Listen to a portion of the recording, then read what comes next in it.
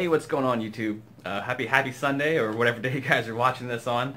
Hope you're all doing well. I just wanted to um, give you a brief update. I know uh, the last video I kind of teased you guys. I picked up, oh that's the wrong side of the box. I picked up,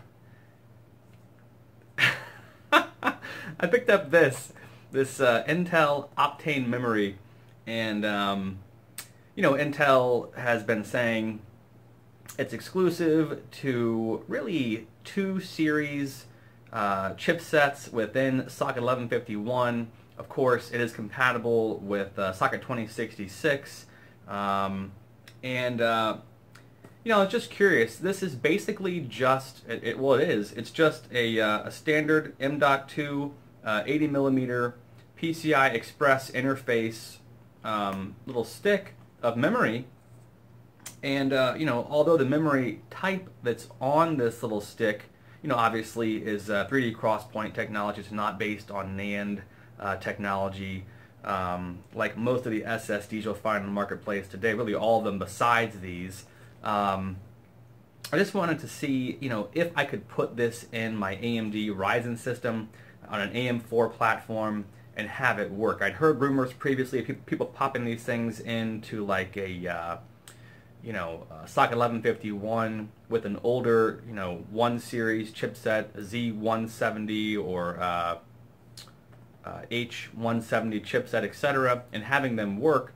Um, and when I say work, I mean that they are identifiable um, by the by the computer, but you can't use all of the the software um, that Intel has created uh, to kind of basically make this like an intermediary, uh, you know, cache, non-volatile cache, whatever you want to call it, between your system RAM um, and your other primary storage, whether that is, you know, NAND-based, uh, you know, um, uh, NVMe, you know, PCI Express, um, you know, solid-state drives, whether that is a SATA-based, you know, NAND uh, solid-state drive or a hard drive.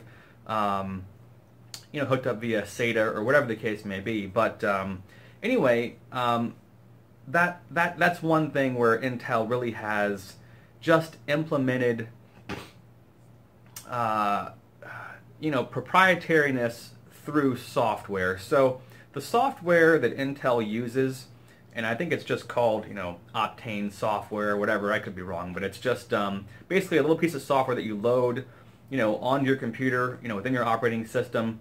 Um, and that software basically goes and looks at your, um, you know, your UEFI and it makes sure that you have the proper code uh, in your UEFI and BIOS. Make sure that you're running, you know, um, a compatible chip, uh, even on a 2 series socket 1151 platform you still you can't use this or at least the software anyway to make this kind of a cache unless you have um, one of the core i series processors. If you're using like a Pentium um, anything below an i3 uh, that software will still kind of say hey you're not good enough for us to let you use this uh, as a caching solution.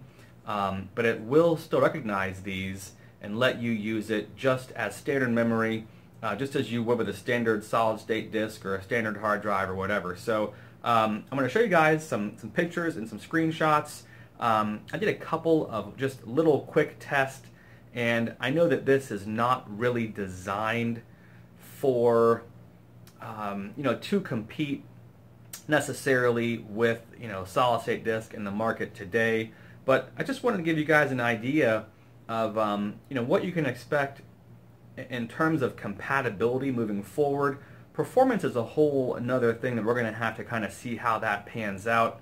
Um, you know, Intel really is kind of high on their low latency nature of 3D XPoint technology. Um, and I did see some of that in testing.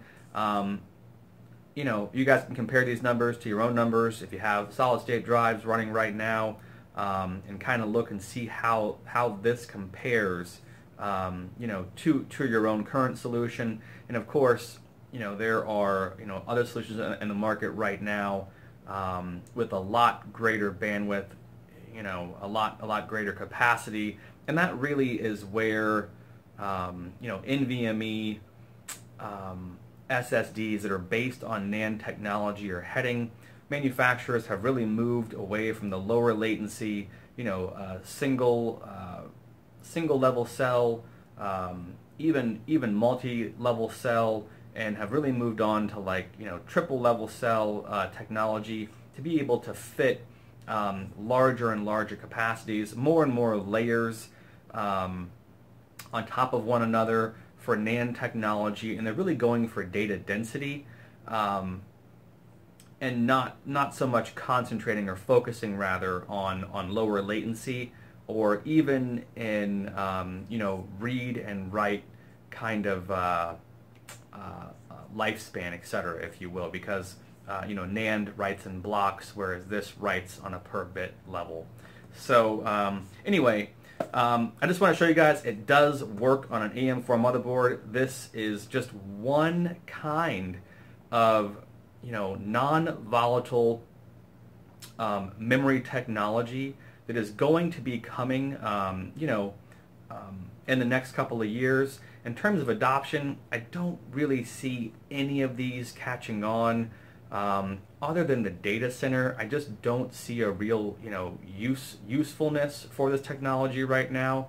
Um, it's still being manufactured, I think, on, on only like a two-layer process, where again, you know, you have NAND being produced on 64-layer, 72-layer processes, um, allowing for a lot more capacity at a much lower cost, um, and and having you know more chips um, gives you just more aggregate performance in terms of bandwidth, throughput, things that most general consumers are the most concerned about.